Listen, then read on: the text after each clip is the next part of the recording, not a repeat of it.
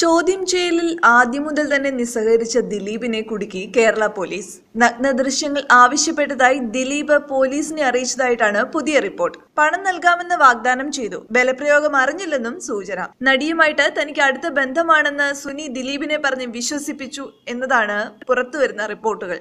ദൃശ്യം പുറത്തായാൽ താൻ കുടുങ്ങില്ലേ എന്ന് സുനി ചോദിച്ചപ്പോൾ ഫോൺ നന്നാക്കാൻ കൊടുത്തപ്പോൾ ദൃശ്യങ്ങൾ നഷ്ടപ്പെട്ടതായി പറയണമെന്നും ദിലീപ് പറഞ്ഞു.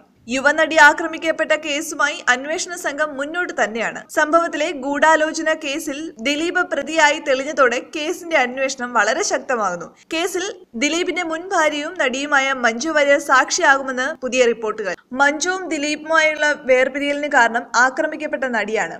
ദിലീപും കാവ്യയുമായുള്ള അടുപ്പത്തെക്കുറിച്ച് മഞ്ജുവിനെ അറിയിച്ചതും ഈ നടി തന്നെയാണ്. ഇതാണ് പ്രശ്നങ്ങൾക്കൊക്കെയും കാരണം. ഈ ഒരു കാരണം കൊണ്ടാണ് ദിലീപിന് ഈ നടിയോട് വ്യക്തിവൈരാഗ്യം ഉണ്ടായത് മഞ്ജുവിന്റെയും ദിലീപിന്റെയും വിവാഹ ജീവിതത്തിൽ യുവനടി ഇടപെട്ടതുമായി ബന്ധപ്പെട്ട് നേരത്തെ തന്നെ റിപ്പോർട്ടുകൾ വന്നിട്ടുണ്ട്. എന്നാൽ അക്കാര്യങ്ങളിൽ കൂടുതൽ വ്യക്തത നൽകുന്നതാണ് പുതിയ റിപ്പോർട്ടുകൾ. യുവനടിയെ ആക്രമിച്ച സംഭവവുമായി ബന്ധപ്പെട്ട ഗൂഢാലോചന കേസിൽ നടി മഞ്ജു വാര്യരെ സാക്ഷിയാക്കും. ഗൂഢാലോചന സംബന്ധിച്ച രണ്ടാമത്തെ കുറ്റപത്രത്തിൽ ഇത് ഉൾപ്പെടുത്തും. മഞ്ജുവിനെ മൊഴിയെടുക്കുന്നതുമായി ബന്ധപ്പെട്ട റിപ്പോർട്ടുകളാണ് ഇപ്പോൾ പുറത്തുവരുന്നത് ആക്രമിക്കപ്പെട്ട നടിയുമായും ദിലീപുമായും തമ്മിലുണ്ടായ തർക്കത്തിന് ദൃക്സാക്ഷിയായവരെയാണ് അന്വേഷണ സംഘം മൊഴിയെടുക്കുന്നത്. കാവ്യ മാധവനുമായി ദിലീപിനുണ്ടായിരുന്ന അടുപ്പത്തെക്കുറിച്ച് ആക്രമിക്കപ്പെട്ട നടി മഞ്ജുവിനെ അറിയിച്ചതാണ്.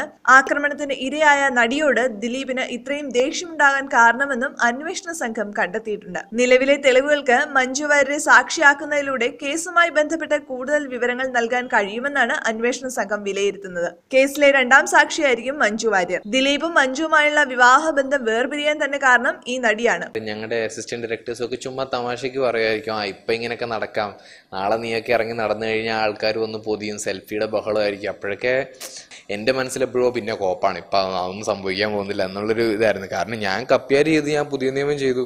എന്നെ അങ്ങനെ വഴിയിലിറങ്ങി നടക്കുമ്പോൾ ആരും നിർത്തി സെൽഫി എടുക്കലോ ഓട്ടോഗ്രാഫി ചോദിക്കലോ ഒന്നും ഉണ്ടായിരുന്നില്ല. അന്ന് ആനന്ദ് ഇറങ്ങി കഴിഞ്ഞപ്പോൾ ദാ പടം ഭയങ്കരമായിട്ട് ക്ലിക്കായി. ക്യാരക്ടേഴ്സ് ഭയങ്കരമായിട്ട് എല്ലാവരും ഐഡന്റിഫൈ ചെയ്യുന്നു. പുറത്തിറങ്ങി കഴിയുമ്പോഴത്തേക്കിന് ആൾക്കാർ സൂചിമോനെ എന്നൊക്കെ വിളിച്ചിങ്ങോട്ട് വരുന്നു.